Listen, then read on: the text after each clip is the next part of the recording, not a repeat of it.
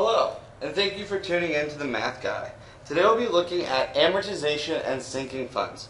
Our first problem for today reads, a sum of $50,000 is to be repaid over a five-year period through equal payments made at the end of each year. If an interest rate of 8% per year is charged on the unpaid balance, and interest calculations are made at the end of each year, determine the size of each installment so that the, so that the loan, the principal plus interest charges, is amortized at the end of five years. The first thing when we're doing this problem is to figure out what it means to amortize something. Usually, if you're amortizing something, you're paying it off in monthly installments or yearly installments. You're mainly taking making a bunch of payments to get rid of a debt that you might have. So if it's a car loan, if it's a mortgage, if it's a homeowner's loan, whatever, as long as you're making payments of the same size over and over and over to get rid of it, it's called to be amortized. So in this case, instead of looking at an annuity, we're looking at amortization, where we're trying to figure out how much the payments are going to be. To do this, we have to use a formula that looks like the following. R, which is our monthly payment or our yearly payment, it's known as the periodic payment. So that's what we're finding with this formula, because we have R equals. Up here in the top, we have a big fraction. We have the principal times the quantity of lowercase r, which is our rate, just like before. We have a new variable here. We have our rate divided by n, where n is the number of periods. So if we're making monthly payments, n will be 12. If we're making quarterly payments, n will be 4. If we're making payments once per year, n will be 1. Okay, so this is the top of our formula. The bottom is a little bit more tricky. So there's more stuff in the bottom. We have 1 minus, 1 plus. Don't get this confused because some people go through and do 1 minus 1, that's 0. There's parentheses here. Make sure you follow the order of operations. 1 plus r over n, which is the same r over n as we have up in the top, all to the negative n times t power. Okay? t, this is where our value of time comes in. We saw time before. We know t always represents time. Over here we have a list of all of our variables. The only one I don't have listed is p, which is our principal, which is also the amount borrowed. So we have all this information gets plugged into this formula. So what we have to do is go through and find out all of this information so we can plug it in. Okay, so the first thing we have to do, we'll start going through and just figuring out what information we have. So if we look, we know that we have a sum of $50,000. We know that our value of capital P, which is the amount that we borrowed, is $50,000. Okay? It says it's going to be repaid over a five-year period. Five years is the number of years that for it t is five. Through equal payments made at the end of each year. That introduces our value of lowercase n, which is 1. We're making one payment per year, so n equals 1. Now the only other piece of information we need to solve this problem and actually use the formula is our value of r. Remember, r is our interest rate. This is our percentage per year. So in this case, it says we're getting charged an interest rate of 8% per year, which means that r equals 8%, which is also 0.08 as a decimal. Like I said before, I always turn my things into a decimal. It's not as hard to get it lost in the information and make sure the calculations are done correctly. Now the other thing we have to do is start filling all of this information into our formula. So we saw the formula previously, so I'm just going to start filling everything in. We know that R equals our value of P, capital P, so we have $50,000 in our numerator, being multiplied by our value of R over lowercase n. So we have 0.08 over 1. So that's our numerator of this entire formula. The denominator is simply 1 minus, parentheses, 1 plus, 0.08 over 1, raised to the negative n times t power. Well, n is 1, t is 5. So we have everything simplified and entered into our formula. The next thing is start going down, going through the problem and starting breaking everything down. So we just start taking it in pieces. For these problems, the best way to do it is just to take it piece by piece. Don't try to do too much at once or you might lose some information along the way. So the first thing we want to do is get rid of these fractions. This 0.08 over 1. We know anything divided by 1 is itself. So in the numerator, we have 50,000 times 0.08. 0.08 divided by 1 is 0.08 we also see it's down here as well, which is really easy to work with. We have 1 minus the quantity of 1 plus 0.08 over 1. Well, 0.08 over 1 is 0.08. 1 plus 0.08 is 1.08. This is raised to the negative 1 times 5 power. Well, 1 times 5 is 5, so it's raised to the negative 5 power. So we have this. This is our next step. We have 50,000 times 0.08 divided by the entire quantity of 1 minus the quantity of 1.08 to the negative 5 power. The next thing we have to do, we're going to start doing some of the multiplications, some of our simple applications. So R equals 50,000 times 0.08 just so happens to be 4,000. This is divided by 1 minus the quantity of 1.08 to the negative 5 power. So 1.08 to the negative 5 power breaks down to give me 0.6806. At this point, I like to have a couple extra decimal points. It gives me a more definite answer in the end. So we have to go down through, break some more stuff down. The 40,000, we're going to leave it exactly as it is. This is divided by 1 minus 0.6806. So we have 4,000 divided by 0.3194. If we take our calculator, do 4,000 divided by 0.3194, we get an answer of $12,523.48. So if we want to take this $50,000 loan, repaid in five years at 8% interest and make one payment per year, we would have to pay off $12,523.48 per month to get that payment. Our second problem for the day reads, the Germain family have deci decided that after making a down payment, they could afford at most $1,000 for a monthly payment. The bank charges interest at a rate of 9.6% per year on the unpaid balance, with interest computations made at the end of each month. If the loan is to be amortized in equal monthly installments over the next 30 years, what is the maximum amount that the Germain family could borrow from the bank? This problem is going to be very similar to the last problem we did. The only difference is, instead of finding R, we're now finding P. If we look at the problem, we know what the monthly payment is going to be. We know the monthly payment is going to be $1,000. So capital R is $1,000. We also know that it's a monthly payment, so that for, therefore that means that n is 12. Two birds with one stone there. We know it's going to be over 30 years, so t equals 30. And our interest rate is 9.6%. So lowercase r is 9.6%, which is 0.096.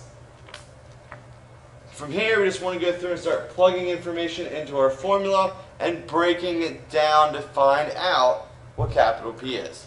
So we fill all this information in. We have capital R in our original formula, which tells us 1,000, equals capital P, which we don't know, times the quantity of lowercase r over n. So we have 0.096 over 12.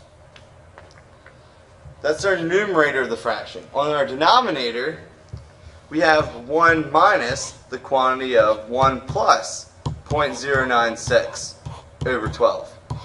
This is then raised to the negative n times t power, which is 12 times 30. We can go through and start breaking these individual pieces down.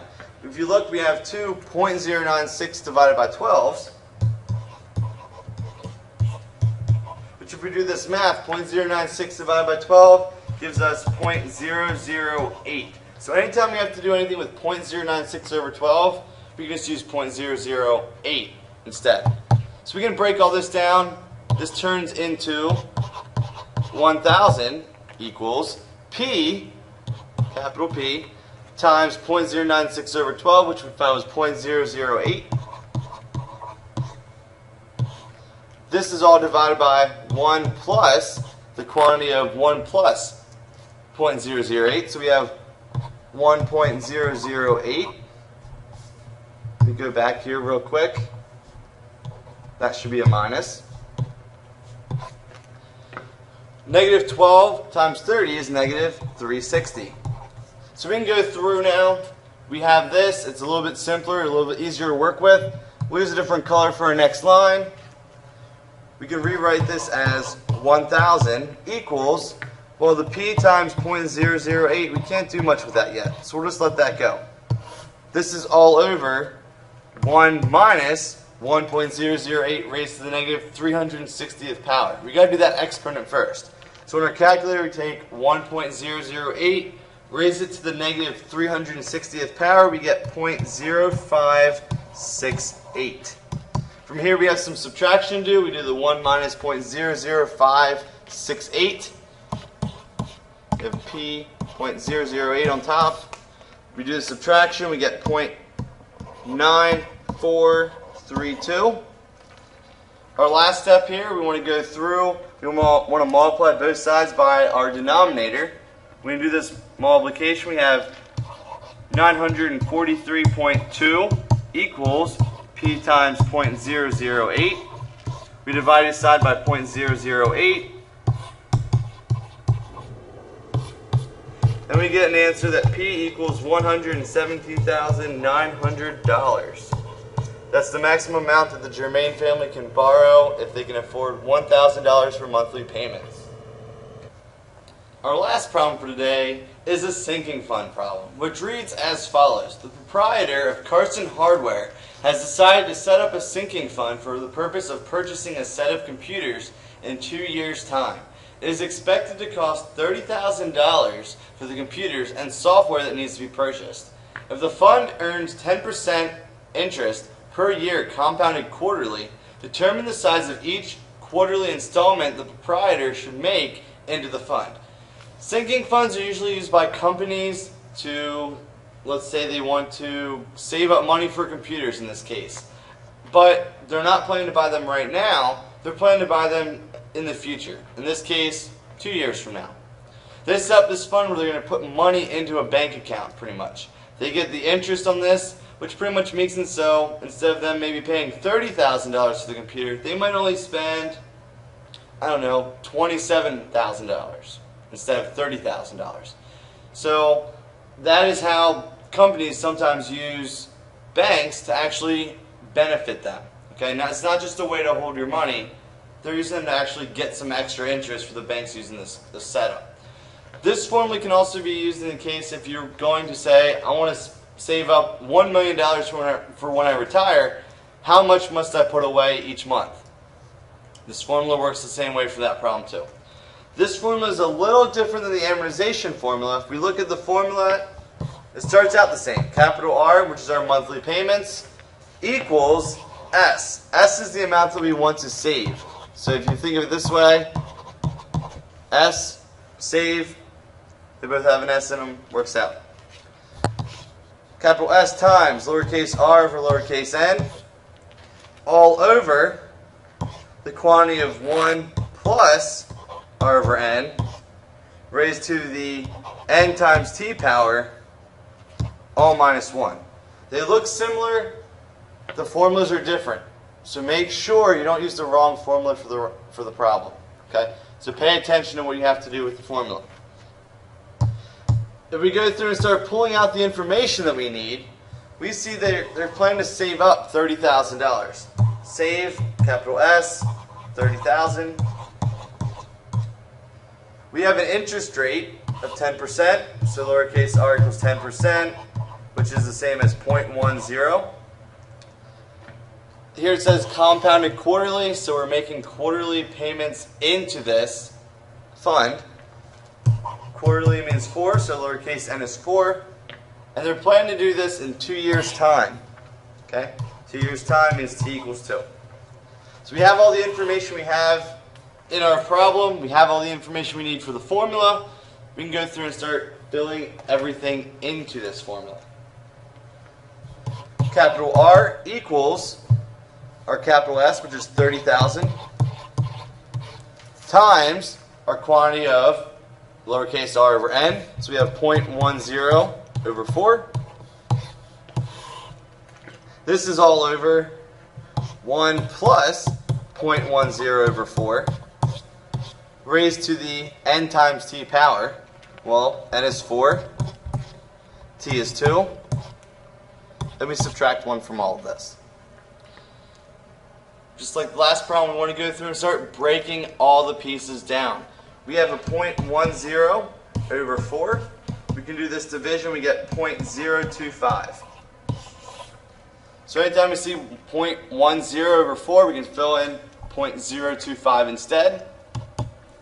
So we have 30,000